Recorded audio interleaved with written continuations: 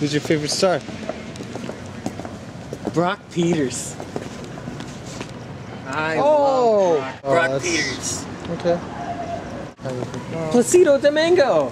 He's My good. other fave. I love Placido Domingo. He's good. John. Fogerty. John Fogerty.